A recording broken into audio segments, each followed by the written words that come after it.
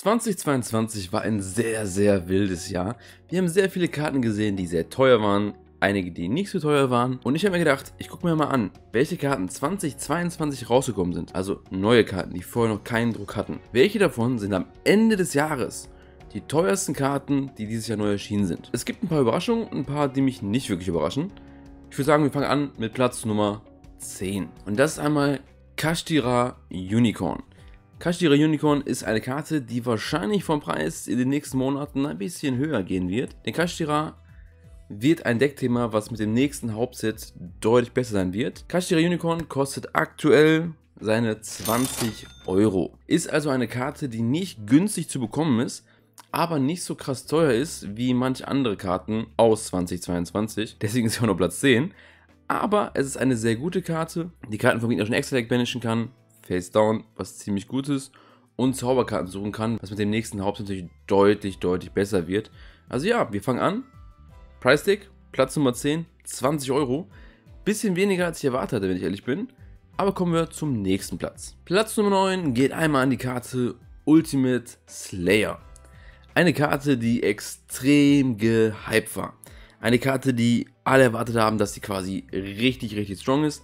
Ich fand ihn Fan von der Karte, weil ich der Meinung bin, dass es einige Karten gibt, die den Job, den die Karte macht, einfach besser machen. Und dass die Karte als Zielwild hat dir nicht unbedingt geholfen. Aber was kostet Ultimate Slayer denn jetzt am Ende von 2022? 21 Euro. Ihr kriegt Ultimate Slayer relativ günstig. Der hat ja aber so 50 Euro gestartet, ist also krass, dass sie jetzt nicht mehr ganz so teuer ist. Aber 21 Euro für eine Karte, die aktuell nicht wirklich gespielt wird, ist trotzdem extrem viel Geld.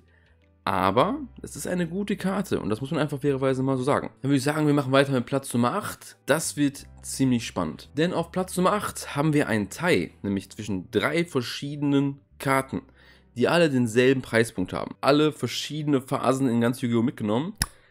Gehen wir die mal ganz kurz durch. Die erste Karte ist einmal Rite of Aramesia. Kostet 25 Euro. Das ist der Preispunkt, den alle drei Karten gemeinsam haben. Die Core-Karte für die Brave Engine war Anfang, Mitte des Jahres extrem krass, auch deutlich teuer, war so bei knapp 50 Euro. Hat sich nicht gehalten, weil die Brave Engine aktuell auch nicht gespielt wird. Ist also auch nicht mehr ganz so krass, wie es halt am Anfang des Jahres gewesen ist. Aber auch hier am Ende des Jahres eine der teuersten Karten, die 2022 rausgekommen ist. Mit, und das finde ich sehr überraschend, Beginn des Abenteuers. Die Karte von dem Fluron Deck-Thema, die so bei 10, 15 Euro gestartet ist, als sie rausgekommen ist. Und jetzt, wo es die einzige Karte im Deck-Thema ist, die so ein bisschen was an Wert hat, ist ein bisschen gestiegen auf 25 Euro. Und die Karte ist für das Deckthema halt essentiell wichtig. Die kann Impermanence und Vader dodgen und euch eine Karte geben, die ihr für die Strategie braucht. Das heißt, das macht das Deck weniger anfällig fürs Bricken. Die nächste Karte, die auf jeden Fall auch am Ende des Jahres ein bisschen was kostet, auch auf Platz Nummer 8, auch 25 Euro, ist einmal Runic Tip. Ja, die Karte war bei, ich glaube, 37 Euro zum Peak Jetzt natürlich am Ende des Jahres, wo sie nicht viel gespielt wird, kostet sie aber immer noch ihre 25 Euro, weil es immer noch eine sehr gute Karte ist, einfach eine Runisch-Karte vom Deck auf die Hand zu adden und dem Gegner die oberste Karte vom Deck zu banishen, ist halt immer noch keine schlechte Karte und das macht Platz 8 auf jeden Fall safe für die Karte. Aber das könnte eine Karte werden, die in Zukunft wieder ein bisschen teurer wird, wenn halt Ishizu hier nicht mehr im Format ist oder weniger im Format ist, weil die Bandits klopft da schon an und sagt, ey, Ishizu, vielleicht ein bisschen runterfahren. Ne? Könnte also passieren. Platz Nummer 7 hat mich ein bisschen überrascht, denn ich hatte gar nicht mehr im Kopf, dass diese Karte rausgekommen ist, weil das Deckthema eigentlich aktuell gar nicht so stattfindet. Aber die Karte ist relativ teuer für das, was sie tut. Und das ist einmal Welcome Labyrinth. Diese Fallenkarte ist natürlich wichtig für das Labyrinth-Deck-Thema. Die hat einen aktuellen Price-Tag von 26 Euro. Ist natürlich eine neue Karte aus 2022. Ob die jetzt wirklich diesen Preispunkt wert ist, lässt sich darüber streiten, weil Labyrinth seit Release nichts gemacht hat und diese Karte wirklich halt teuer ist für das, was sie tut. Und es spielt sich halt dreimal in dem Deck. Ob ich das machen würde, ist halt die Frage. Da würde ich wahrscheinlich lieber Flu Run spielen mit der Quickspell, die sogar günstiger ist, auch wenn sie nicht viel günstiger ist.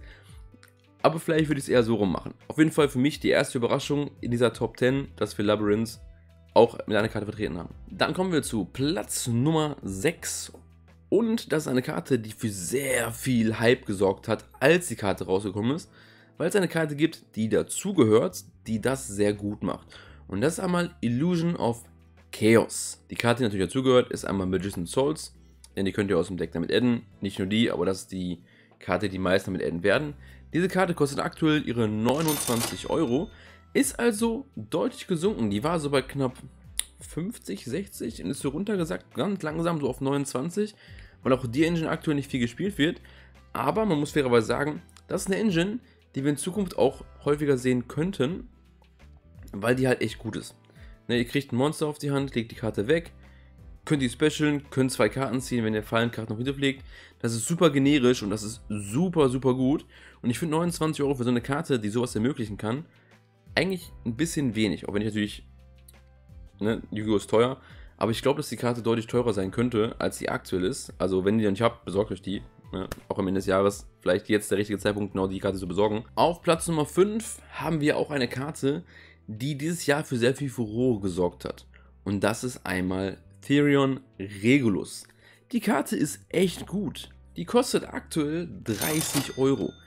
Die hat die Fähigkeit, eine Therion-Karte von der Hand oder vom Feld auf den Friedhof zu legen und einen Monster-Effekt zu annullieren. Das ist ein sehr guter Effekt.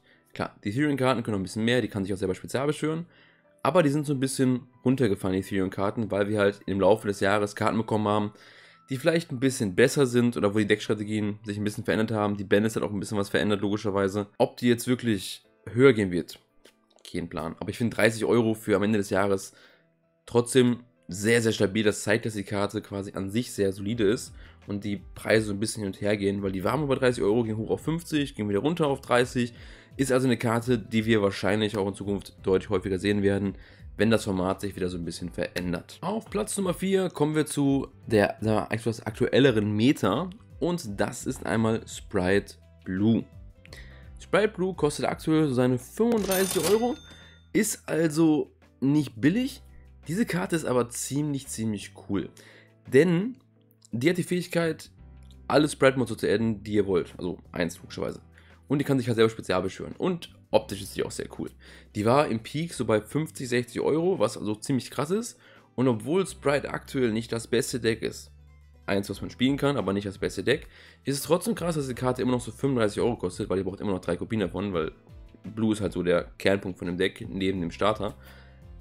Krass, dass die Karte immer so teuer ist, aber eins der besten Decks dieses Jahres mit der teuersten Karte aus dem Deckthema ist nur auf Platz 4 auf dieser Liste. Und das finde ich sehr, sehr interessant, weil das Deck auf jeden Fall krass war, als rausgekommen ist. Noch krasser war mit der Runic Engine. Und dann kam das nächste Deck und whoop, weg war das Deck. Immer noch gut, immer noch spielbar, immer noch topbar mit dem Deck, aber deutlich weniger krass, als es zu Release gewesen ist. Und auf Platz Nummer 3 kommen wir wieder zu einem kleinen Tie. Das heißt, wir haben wieder zwei Karten, die kosten das gleiche am Ende des Jahres. Und das hätte ich wirklich nicht gedacht. Denn die erste Karte ist einmal die Fields Bill von dem Telemensekt-Thema und das ist Pellerino. Die kostet aktuell 40 Euro. Das ist die Hälfte von dem, was die gekostet hat. Und das finde ich sehr faszinierend, weil Tier Shizo ist aktuell das krasseste Deck, was ihr spielen könnt. Und die Karte wird darin logischerweise gespielt. Es haben die Leute extrem Angst vor einer Banlist. Deswegen wird diese Karte auch immer so ein bisschen günstiger. Und das finde ich halt sehr, sehr krass. Die Karte ist natürlich heftig. Auf Aktivierung seht ihr euch ein Tier-Elements-Monster, was halt sehr krass ist, oder wie das Starfrost, wenn ihr das spielen wollt. Und wenn eine Karte ins Deck zurückgemischt wird, also ein Aquamonster, könnt ihr eine Karte auf dem Spielfeld zerstören. Ist also eine sehr essentielle Karte für die ganze Deckstrategie. Also ziemlich gut. Jetzt natürlich die Frage, was ist denn genauso viel wert wie Pellerino? Guardian Chimera. Diese Karte hatte einen richtigen Hype, als Despia rausgekommen ist und richtig nach oben geschossen ist. So auf 60 Euro, war richtig, richtig krass. Dann ist sie runtergefallen, das Deck weniger spielt, wurde so auf knapp 25, 30 Euro. Jetzt ist sie wieder bei 40 Euro, weil wir die auch wieder in anderen Deckstrategien sehen werden. Aber sie ist nicht mehr so prominent in den meisten Deckstrategien, wie es halt vorher gewesen ist. Vorher war es halt so, ihr habt viele auch zwei davon gespielt. Mittlerweile spielt ihr nur einen davon. Und die Karte ist halt ziemlich gut. Denn ihr könnt mit der Karten auf dem Feld schießen und Karten ziehen und die kann nicht getargetet werden von Karteneffekten des Gegners, wenn eine Poli im Friedhof liegt. Also eine ziemlich, ziemlich gute Karte und das macht die auf Summon. Und es gibt eine Karte wie Brandon Red, die auch in der Gegnerrunde aufs Feld klatschen kann und dann kann die halt extrem böse kommen. Also gute Karte. Auf Platz Nummer 2 haben wir eine Karte, die eine etwas neuere Karte ist. Ich habe bei dieser Liste auch eigentlich genau sowas erwartet, dass wir die neueren Karten, die zwischen Ende des Jahres rausgekommen sind, auch ein bisschen weiter oben auf dieser Liste sehen, weil die einfach neuer sind. Und das trifft einmal auf den abscheulichen Lubellion zu. Dieser Name ist einfach so geil. Lubellion ist eine gute Karte. Ihr könnt die abwerfen, könnt euch einmal ein abscheulichen Monster suchen, was halt ziemlich gut ist. Wenn ihr Friedhof ist, könnt ihr einen Drachen, Level 6 Dark Monster tributieren. Die specialen, dann könnt ihr euch einmal pro Spielzug eine permanente Karte aus dem Deck aufs Feld setzen. Was halt ziemlich, ziemlich gut ist. Ob es jetzt 45 Euro gut ist, kann man sich darüber streiten, wobei die auch vom Preis wieder so ein bisschen gefallen ist. Die war so bei knapp 55 und ist langsam runter rotiert. Ist also auch gar nicht mehr so teuer, wie sie halt bei Release gewesen ist. Aber dennoch, es ist eine sehr gute Karte, in der ihr habt Scheulich Monster, Bestials, wie sie auf Englisch heißen, was viel besser ist, sind natürlich extrem gute Karten. Und in einem Deck wie Despia zum Beispiel ist Lubellion krass.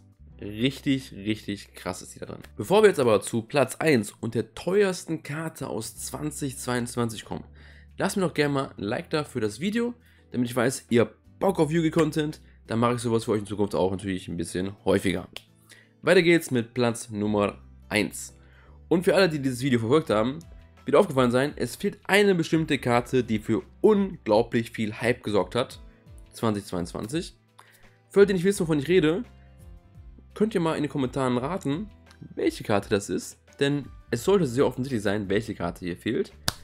Für alle, die es nicht wissen, 3, 2, 1, Kashtira Fenrir ist die teuerste Karte am Ende von 2022 mit unglaublichen 58 Euro. Und das ist eine Ultra Rare aus seinem Hauptset. Das möchte ich kurz nochmal anmerken, weil normalerweise werden diese Karten nicht so teuer. Und die Karte hat dieses Potenzial, noch teurer zu werden, wenn das nächste Hauptset kommt. Für alle, die nicht wissen, was Fenrir macht, wieso auch immer. Fenrir kann sich selber spezial beschwören, wenn ihr kein Monster kontrolliert. Wenn ein Monster-Effekt aktiviert wird von einem Gegner oder ihr einen Angriff mit dieser Karte deklariert, dann könnt ihr eine Karte auf dem Spielfeld wählen von einem Gegner und die Face-Down banishen. Was ein unglaublich guter Effekt ist. Der zweite Effekt ist der, dass die in der Main Phase ein Kashtira-Monster suchen kann. Und die kann sich selber suchen. Das macht die halt fürs Side-Deck unglaublich gut. Ihr kriegt dann Free Body aufs Feld, kriegt den Extender für die nächste Runde oder das Out für die nächste Karte schon auf die Hand, könnt angreifen, könnt was outen, weil die hat 2500 ATK, die ist halt gar nicht so klein und ihr könnt auch was vom Gegner wegnehmen. Und manchmal kann der Gegner gegen halt gar nichts tun. Das ist halt ein bisschen nervig. Also die teuerste Karte aus 2022, Kastira Fenrir.